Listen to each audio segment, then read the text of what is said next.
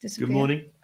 Uh, so I don't know if Mary's going to stay in the room. I hope I hope she is. Um, it's a bit of a challenge for me that um, I'm always very distracted by wanting to know whether, what Mary thinks of what I'm doing, but I'm still trying to look at the camera and engage with you.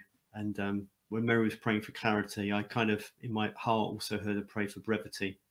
I, both clarity and brevity would be great, wouldn't they? We'll see how we get on. So live, wow. Um, I did earlier on take a, a photograph of um, our makeshift live TV studio here, and I might put that photo on social media later. Um, I want to say thank you to a whole bunch of people in the team who have um, put this latest experiment together. Um, for any of you who find it a bit glitchy or there are odd things about it, um, please forgive us. Uh, the team is, uh, the platform might not be ideal. The team, we are all learning as we go along, but the work that's been put in by a small group of people is huge. And I'm very, very grateful for them. And please bear with us. And um, in a few weeks, we might really act like a, we might seem quite professional, which might be a bad thing. Um, I'm certainly not professional today. I have um, a set of props around me and um, already Mary's adjusting my movable TV monitor because I've knocked it. I have a number of props around me. So um, hopefully I won't suffer from prop catastrophe as I bring those to your attention. Um, I'm, today I'm speaking about fellowship and this is the third of a series um, I've been um, speaking on called Devoted Revis Revisited, where what I'm doing is looking at what Acts 2 tells us about the four things that the first church in Jerusalem devoted themselves to in a period just after the Holy Spirit fell in a spectacular way on the day of Pentecost. And um, last time I spoke, I spoke about the devotion, their devotion to the apostles' teaching, and I'm just working through the list of four. And today I'm going to speak about their devotion to fellowship. I want to look at what what was fellowship, what was fellowship that they devoted themselves to, what did it mean to them, and what relevance could that have to us today. Uh, before I really start, I want to do a shameless plug for my latest book called Reset Your Church Life. One or two of you have that already. Um, it's available on um, Amazon in the UK, also Amazon in Canada, Amazon in the United States, and other parts of the world. Um, I think um, I think it's a pretty excellent book, but I'm quite biased. Um, but if you're at all in, interested in some of the themes that come out of this series, part of the book is about the whole subject of looking at what the Acts 2 church devoted themselves to. So uh, today's message is not a repeat of a section of the book, although some of the elements are in the book um, but this is a, a message all on its own. I'm going to start by looking again at the key passage, starting at chapter 2, verse 42. Let's look at that together. All the believers devoted themselves to the apostles' teaching and to fellowship and to sharing in meals, including the Lord's Supper, and to prayer. A deep sense of awe came over them all, and the apostles performed many miraculous signs and wonders. And all the believers met together in one place and shared everything they had. They sold their property and possessions and shared the money with those in need. They worshipped together at the temple each day, met in homes for the Lord's Supper, and shared their meals with great joy and generosity, all the while praising God and enjoying the goodwill of all the people. And each day the Lord added to their fellowship those who were being saved. And um, so, as I said before, I think the Bible doesn't tell us in so many words, this is how church everywhere should be all the time. But it looks like a pretty healthy church to me. And I think there are almost certainly important lessons we can learn from their example. So, um, before I really get into trying to unpack what I think fellowship is all about, I want to maybe maybe it tantalizes you, maybe it doesn't, but I want to just dangle in front of you a little bit of information about something that happened once at the King Edward School in Birmingham. And um, I want to mention something that happened there. I hope the reasons for this will become clear later. I might forget, in which case maybe someone might post a comment or um, Mary might interview me about it later. We probably won't have time. But um, there were four students who set up a, uh, a, group at that school called the Tea Club Barrovian Society. And uh, three of those people were Geoffrey Smith, Robert Gilston, and Christopher Wiseman. And um, I'll come back to those that group a little bit later. Maybe we'll see. Now, so I want to really get into um, what do we think fellowship really is when we when we read that these people, these first Christians, devoted themselves to fellowship. What is fellowship? And I'm, I do not think I've said this previously when I've spoken on this series, but in the passage from Acts 2 that, 2 that we just read together, um, it starts with saying what the four things are that the church devoted themselves to. And then there's some description about what life was like in that church. And I can't prove this, but I think it's quite clear that the person who wrote that passage, they described, they, they listed four things that the church devoted themselves to.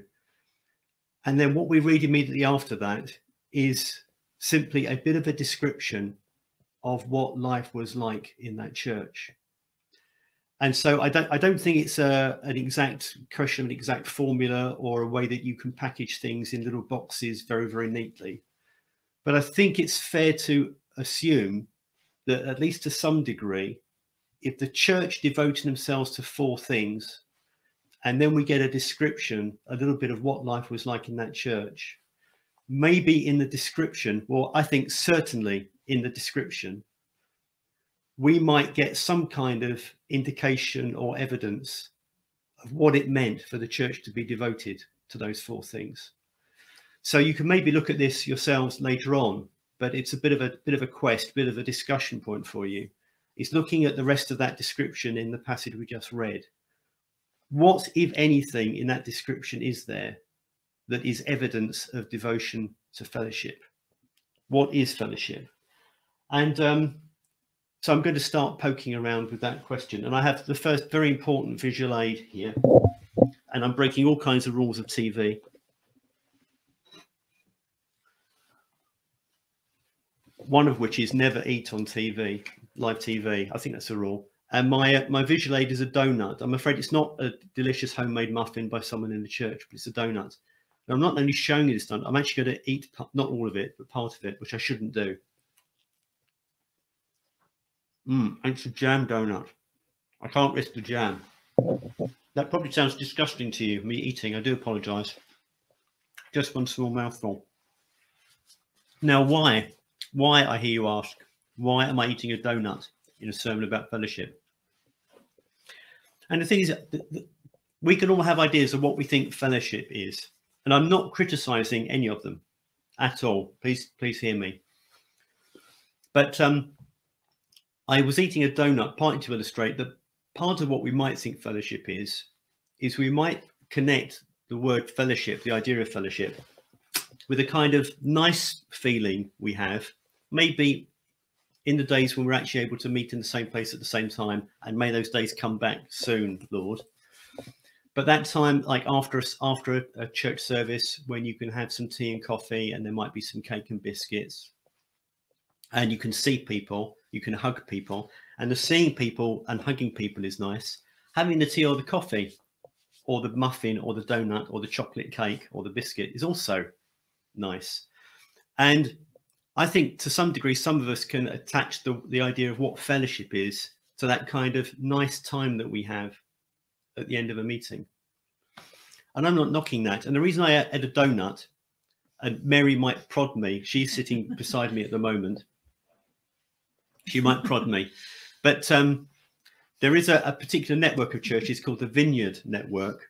And Mary and I find ourselves talking about the Vineyard Network from time to time. And we had the we had the privilege uh, many many years ago of going to the the kind of mother mother church of the Vineyard Network. It's the Anaheim Vineyard, just outside Los Angeles, and it's where a, a, a man he's with Jesus now, a very famous man called John Wimber, really um, set up his base. And um, we just we used to associate the Vineyard Network with a. They used to have very good donuts, and I think may, maybe this was even before the service rather than after the service. And then when we started being around the whole Toronto scene, uh, you you could you could have you could get donuts and other things there. I think things have moved on and people are a bit more healthy now, and you maybe have the option of fruit, or I don't know, maybe a piece of lettuce. I don't know. But uh, quite recently, and Mary's not kicking me yet, but quite recently, more than once, we found ourselves talking. Mary's wanted to talk about the Vineyard Network, and she hasn't been able to remember the word vineyard.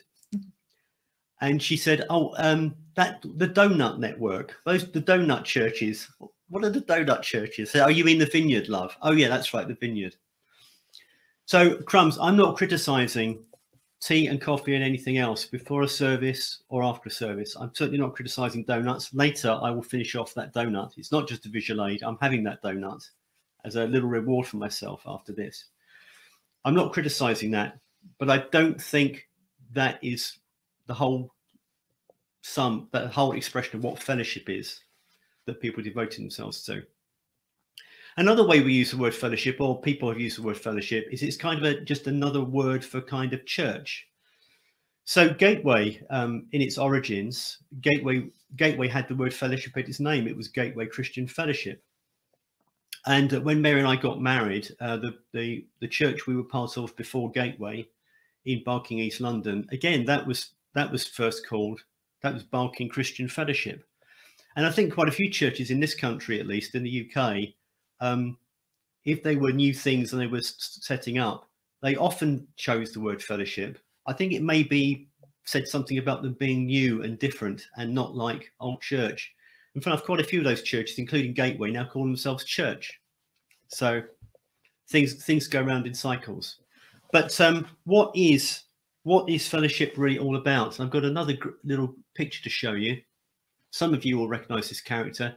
This is Chief Wiggum from uh, The Simpsons, and um, he loved he loved his donuts, or he loves his donuts. And I was a bit shocked. I checked out something about Chief Wiggum um, on Wikipedia, and I found out he's a, obviously he's a fictional character.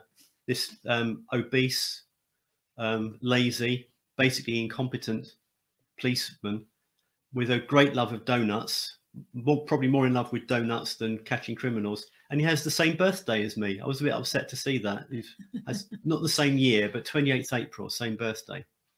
Um, anyway, I probably digress. So, um, what is what is fellowship really all about?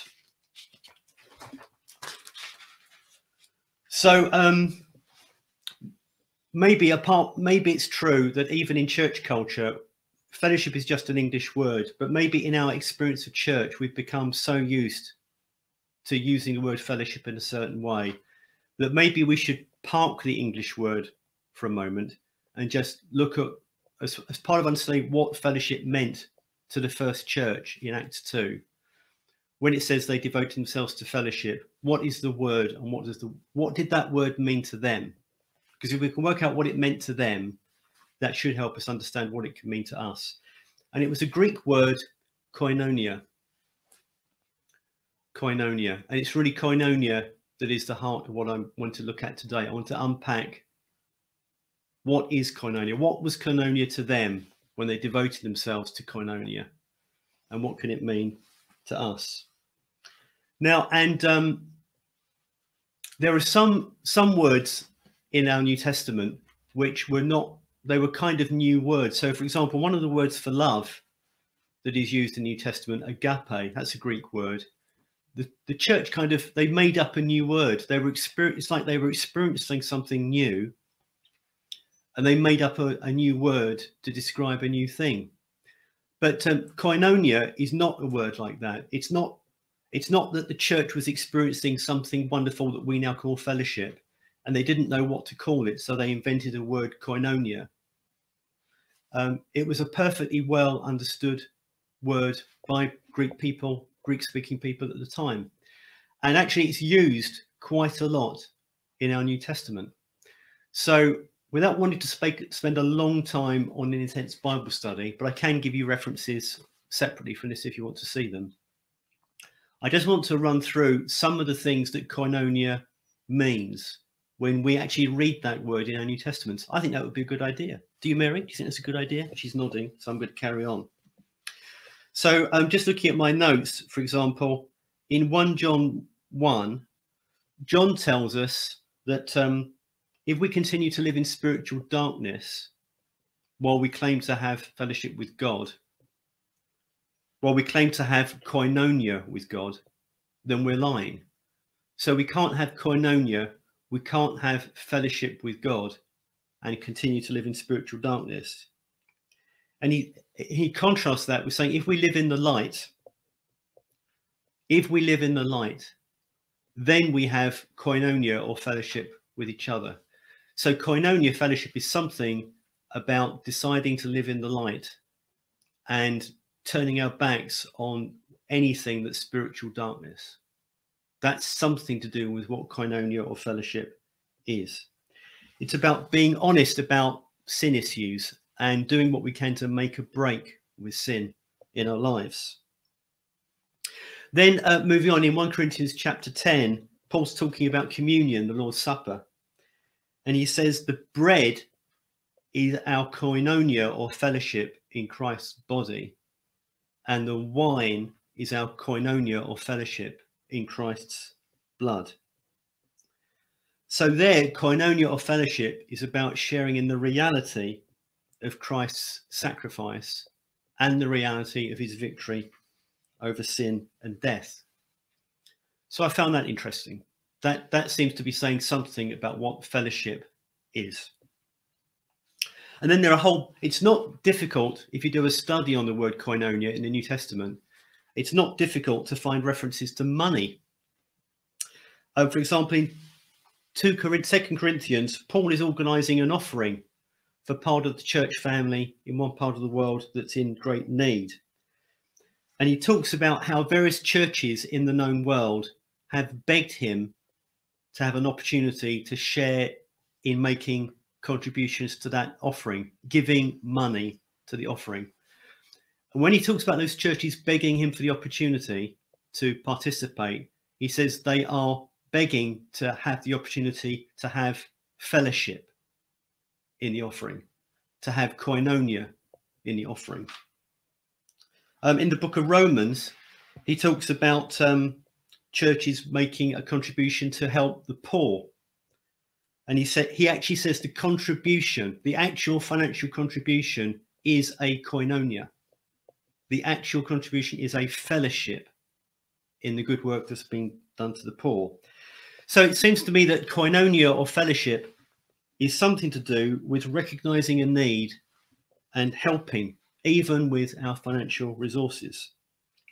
And then the last little thing I want to look at is um, to do with fish.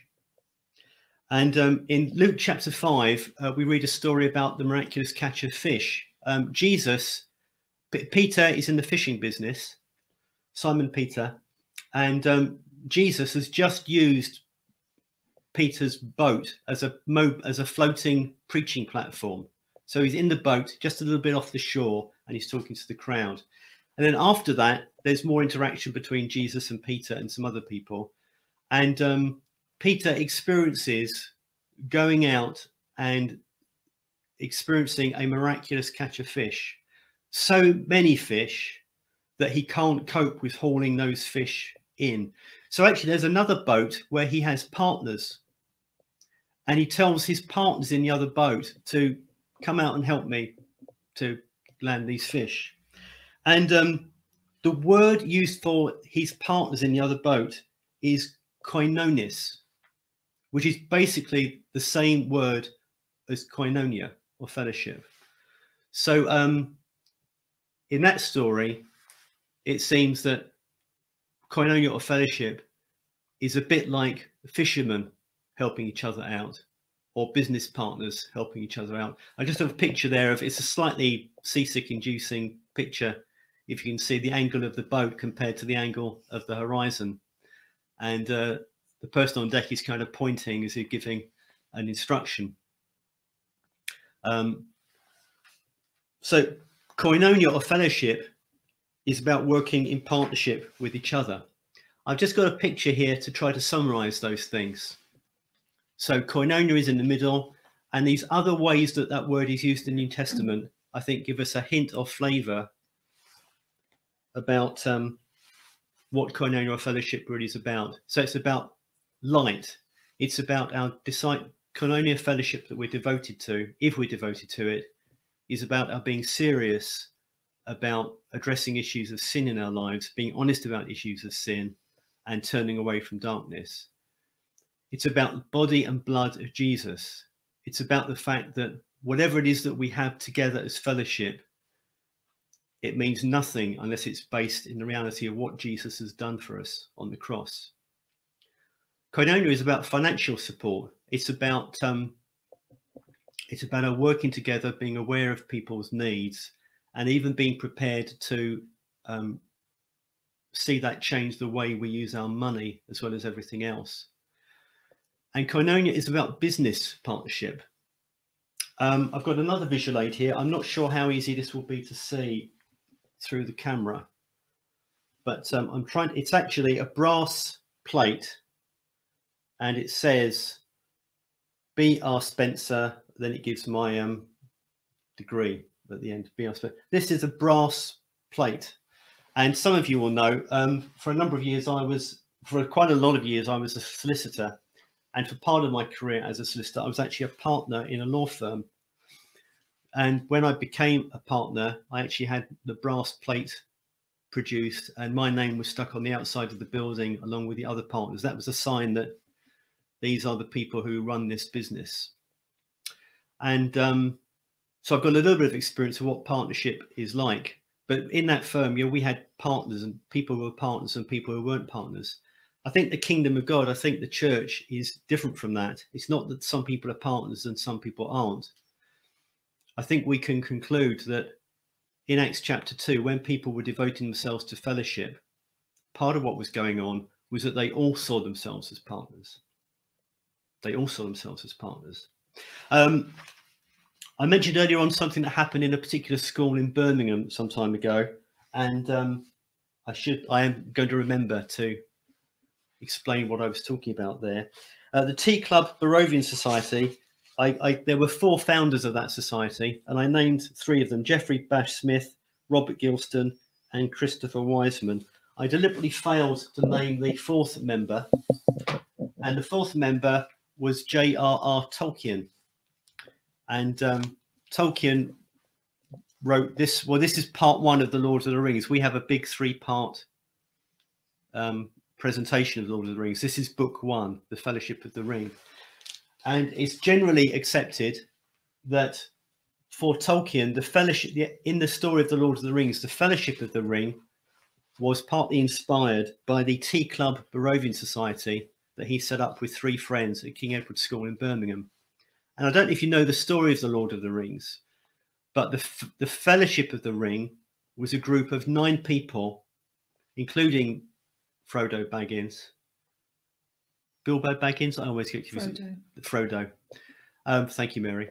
I always get confused. Nine people who were committed to the destruction of this awful ring at whatever cost. And for Tolkien, that was fellowship. And you know, I'm as I as I said earlier, I don't mean to disrespect donuts. I don't mean to disrespect a, a nice feeling of support and comfort we might have when we're around people, when we share hugs, when we have conversations over tea and coffee. All of that stuff is good. But what I want to try to um, lay out for you today is that the fellowship that the Acts 2 Christians were devoted to was far more than a fuzzy feeling. However nice and valid the fuzzy feeling is, this was a commitment to something that really mattered. And when Tolkien said that his group in The Lord of the Rings was a fellowship, I think that says something very powerful and very relevant about what true koinonia or fellowship is if we decide that, well, if it was good enough for the Acts 2 people to, to devote themselves to, I think we could devote themselves our, ourselves to fellowship as well. So if, if you think about somewhere like, you know, our family, our church family, the Gateway family, it's great experiencing fellowship. But our fellowship cannot be, is not based, it should not be based on anything as um, superficial as we've got background in common or interests in common. Um, our group actually is quite a diverse group, and I think the diversity is fantastic. I think we should continue to celebrate the diversity and embrace more and more diversity. Uh, the truth of the matter is, is that if we're thinking about the kind of fellowship that the Acts 2 church were devoted to, it's got to go way beyond anything that we have in common, apart from one very important thing. And that's the reality of what Jesus has done for us. That is way bigger, way more important than anything else. And it also means that we can even be together, have a sense of being together that overrides things that maybe we would say could separate us because of our different backgrounds, because of our different preferences, because of our different views about other things. We can have different views about things, provided we have a very, very similar, close view, or not a thing, but a person. And that's the person of Jesus and what he's done. And I believe that if we if we can embrace in a healthy way devotion to fellowship, that will continue to be very good for us for life, for our life as a church family. I've got another picture I want to show you. I want to kind kind of try and summarize what I think the focus should be of a church that is devoted to fellowship in a full biblical sense of it. And that's an image of um, might be a father and daughter, might be an instructor, and um, just a, a, young person going on to a school. But it's to do someone. I think someone is showing someone else how to climb, and I believe that kind of picture is at the heart of what we what we as church should be aiming to do. Um, you need to. You need to go down this one. Sorry, find it. Bear with me. Yeah. Bear with me. Sorry. There, I'm back. I'm back. Sorry about that. Thank you, Mary. Um, that picture of the the person learning to climb that's at the heart of what i think we should be aiming to do that what is our purpose as a church family what is a healthy purpose for any church family well i believe it's introducing people to Jesus, you know, evangelism, helping people to make the connection with Jesus for the first time, and then making disciples. And for ourselves, being prepared to be made disciples, because that's what Jesus told us to do. He told us to go and make disciples. And if that is important, then we will be committed to it, whatever the cost. You know, it won't be to do with my my personal comfort, my personal preferences. It will be the cause, the purpose, the mission. So I hope that's helpful. Um, I'm going to hand back to Mary and um, you know, she can either simply say goodbye or say something wise or ask me questions or look at your comments. But thank you for your time. It's been great to be with you. God bless you.